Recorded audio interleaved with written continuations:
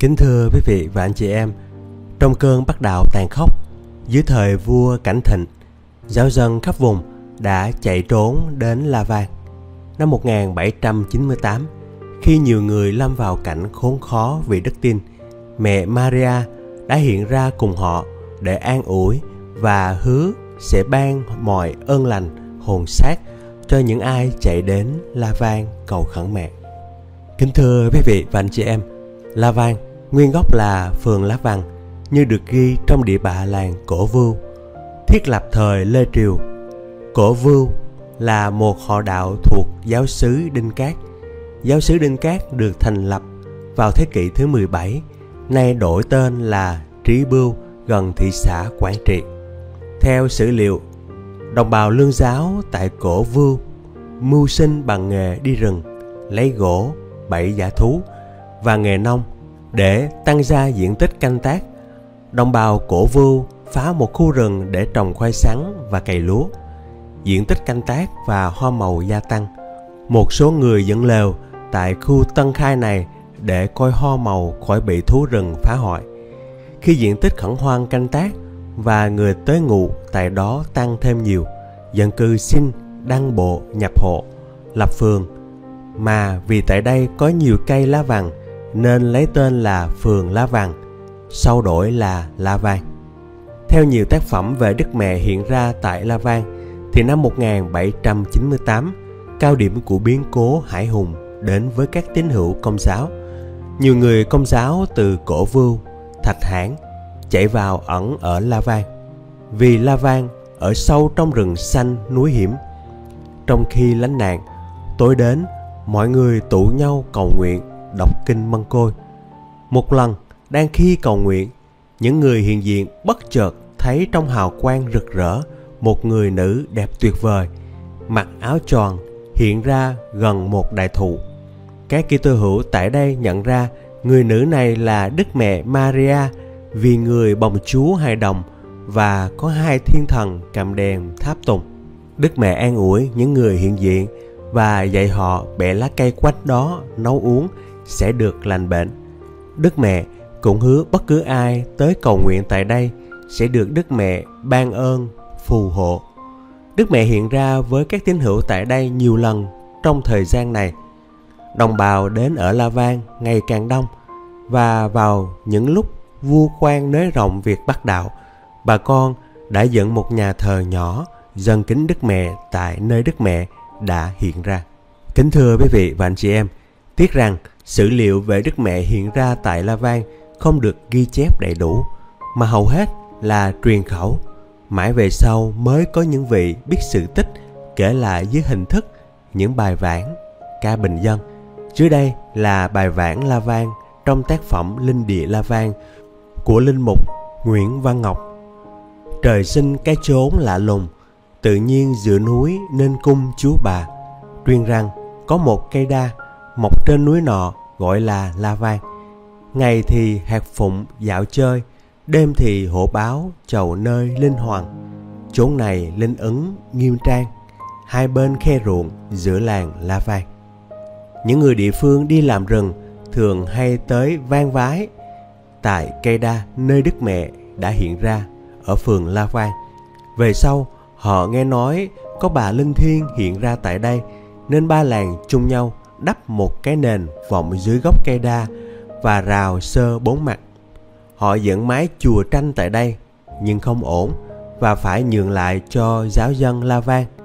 Vì thế, trong vãng La Vang có đoạn Bên lương chức dịch rộn ràng, đắp nền thờ vọng rào hàng sơ ly, chốn này linh ứng oai nghi, ngoại mình không vái điều gì cũng linh.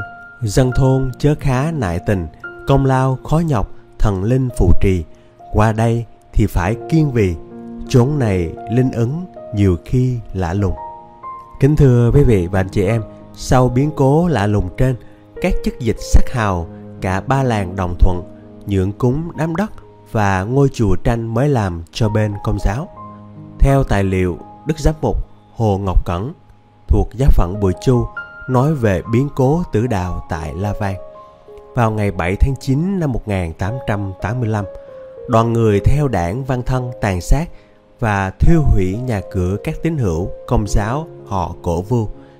Ngày hôm sau, tức ngày 8 tháng 9 năm 1885, họ kéo vào La Vang, nhưng dân cư đã chạy trốn lên núi. Họ vơ vét tài sản, rồi phóng hỏa, đốt hết nhà cửa, nhưng không dám đốt nhà thờ Đức Mẹ, vì họ nghe tiếng Đức Mẹ linh thiêng. Trưa ngày 9 tháng 9 năm 1885, một người theo đảng Văn Thân, tên Thơ, con ông Mẹo, thuộc xóm Bốc, làng Phú Long đến La Vang. Y thấy nhà cửa các tín hữu đã bị thiêu rụi, nhưng nhà thờ Đức Mẹ còn nguyên vẹn. Y liền phóng hỏa, đốt rồi bỏ đi. Nhưng không hiểu lý do gì, chiều hôm đó, nhóm Văn Thân đã tàn sát giáo dân tại Cổ Vu và đốt nhà cửa các tín hữu tại La Vang, kéo đến bao vây nhà ông Mẹo và đốt hết cả gia trang. Ông Mẹo, tên Thơ và vợ con y đều bị chết thiêu.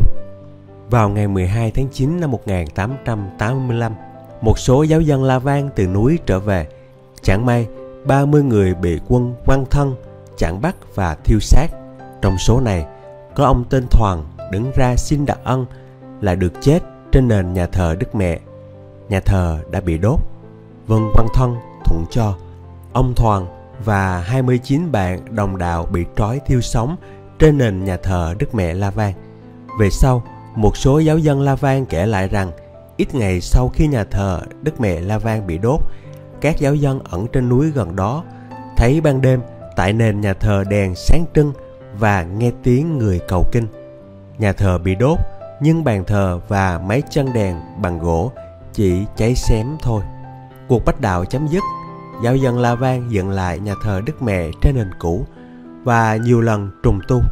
Ngày 22 tháng 8 năm 1961, Thánh đường Đức Mẹ La Vang được tòa thánh nâng lên hàng tiểu vương cung thánh đường.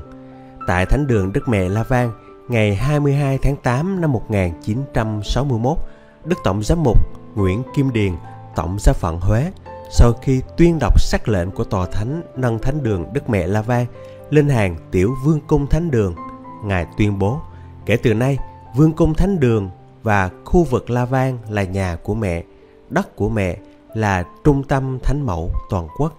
Ngược dòng lịch sử năm 1901, Đức Cha Lộc đã ấn định bổn mạng của thánh đường La Vang là Đức Bà phù hộ các giáo hữu.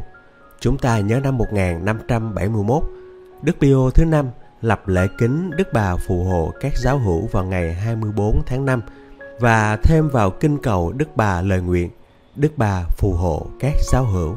Xin cầu cho chúng con. Kính thưa quý vị và anh chị em, nhiều mẫu tượng ảnh Đức Mẹ La Vang được nhiều điêu khắc gia và họa sĩ sáng tác. Như năm 1901, giáo quyền Việt Nam đã chính thức chọn hình tượng Đức Mẹ đứng trên mây, hai tay nâng chú hài đồng đứng trên trái cầu. Đức Mẹ mặc quần áo gấm thêu, phản phất màu sắc Á Đông. Về sau, nhiều điêu khắc gia và họa sĩ sáng tác tượng và ảnh Đức Mẹ La Vang hoàn toàn Việt Nam. Đức Mẹ mặc y phục Việt Nam, có khăn tròn đầu và trên đầu có vương miện, đang bồng chúa hai đồng. Đức Mẹ mang hài mũi công và đứng trên trái cầu. Ngày nay, mẹ La Vang đã được nhiều người biết đến, trở thành trung tâm hành hương của giáo hội công giáo Việt Nam. Những ơn lạ mà Đức Mẹ La Vang đã ban ơn cho chúng con làm sao kể hết. Hàng năm, vào giữa tháng 8, đông đảo khách hành hương về bên Đức Mẹ La Vang để tạ ơn và cầu xin ơn mẹ. Cứ ba năm thì tổ chức Đại hội La Vang một lần.